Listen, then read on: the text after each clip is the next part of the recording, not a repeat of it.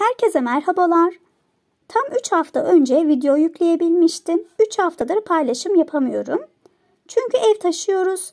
Taşındığımız ev için internet başvurusu yaptık. Fakat başımıza tatsız bir hadise geldi.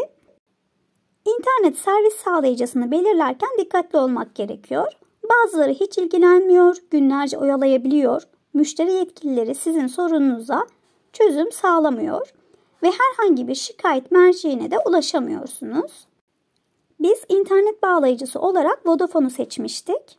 Gidip sözleşmemizi yaptık, imzalar atıldı ve sonrasında 15 gün boyunca Vodafone'un evimize gelip internet bağlamasını bekledik ve üstelik hafta sonlarını da iş gününden saymıyorlar. 15 gün boyunca bizi oyaladılar. Bize hiç çözüm üretmediler. Her seferinde kaydınız alındı dediler. Bu durumu şikayet edebilecek hiçbir merciyi de bulamadık. Sonunda müşteri hizmetlerini arayarak sözleşmeyi iptal ettirdik. Aynı gün akşamında Spitnet'e internet başvurusu yapmak için gittiğimizde e, Vodafone'un halen bizim sözleşmemizi iptal etmediğini, bu yüzden teknik olarak internete bağlayamayacaklarını bildirdiler. Bunun üzerine Vodafone'un müşteri hizmetlerini tekrardan aradık. Bunun bir süreç olduğunu, sözleşmenin ne zaman sona ereceğini bilmediklerini söylediler. Biz de internete kapıya bağlamaya gelen teknik ekibe sözleşmeyi iptal ettirdiğimizi söyledik. Spitnet'e giderek üyelik sözleşmesini yaptık. 24 saat içerisinde internetimiz açıldı.